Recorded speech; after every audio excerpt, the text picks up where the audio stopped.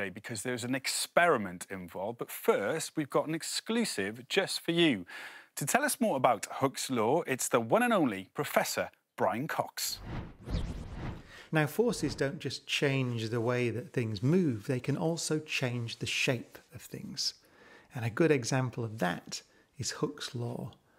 It says that if you apply a force to a spring, then the force stretches the spring.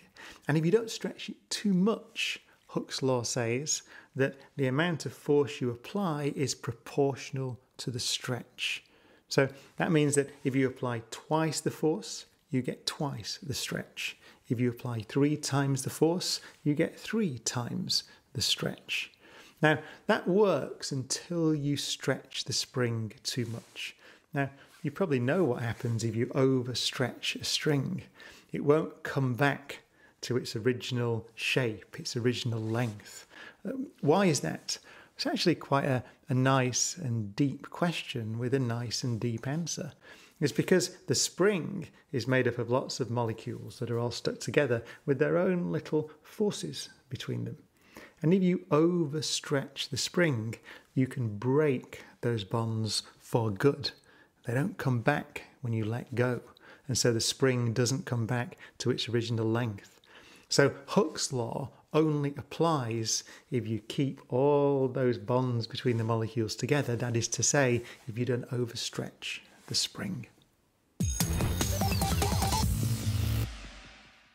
A big thank you to Professor Brian Cox. All right, what is going on here, Mr. Mycock? What have I got to do next? OK, Gethin, now we know a bit about Hooke's law, this experiment is going to show it in action.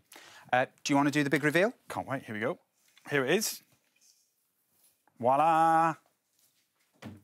And there you go. Guess what, as well? You're going to be doing the experiment. I, I was hoping you'd say that. Right, what do I need to do?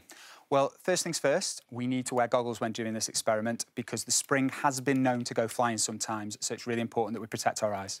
All right, the goggles are on. So it's a case of don't try this at home. Yeah, definitely not. I wouldn't do this unless under supervision. All right, what's next? What are we doing? So here we have a hanging spring, um, and what you're going to do is you're going to add mass to the spring and measure how far the spring stretches. Uh, the spring stretches because the force is acting on it. Right. Uh, so if I'm doing all the hard work over here and the heavy lifting, what are you doing? Well, I've got a graph to plot, Gethin, um, and uh, I'm also going to put the results that you give me into the table and then plot these points across here. Um, so when you put on a mass, you're going to need to tell me how long the spring is stretched to, and then I'll take that away from the start length and plot the extension of the spring onto the graph. All right. Uh, so first, I need you to tell me how long the spring is now with nothing attached to it. Right now, it is at two centimetres. Brilliant. So I will add that onto here, and that is our starting point. So obviously the extension is zero centimetres. Yeah. So now, Gethin, can you add one of the masses to the spring? Adding that on. Me go down, and that is... Why is it called a mass and not a weight? Um, so it's it's actually the um, the, uh, the force is the, called the weight. Uh, so masses are pulled down by the gravitational field strength of the Earth. This is six centimetres now. Excellent. So I'll just put that onto here on our spring length of six. So if I take uh, two away from six, I have an extension of four. And if I just plot that onto our graph here, so we have a point there. All right. Okay. Next one. Excellent. So yeah, add another one for me, please.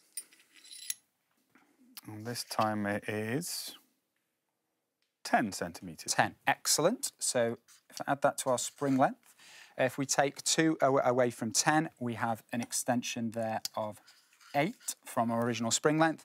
So if I plot that onto here, 2 newtons and 8 centimetres. So our third one now, please.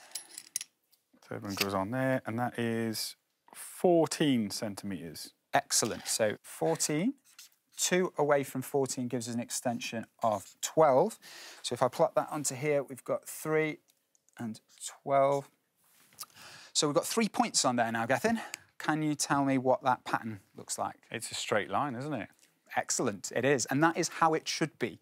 Um, Hooke's law states that the extension of an elastic object like a spring is directly proportional to the force ad, uh, exerted. So how is this applied to real life situations? Okay, so lots of people at home might be jumping around on their trampolines at home. The centre of the structure of the trampoline is attached to multiple springs on the outside. When the people jump on it, they exert a force onto it, and the force that they exert on it is directly proportional to the distance that the spring stretches.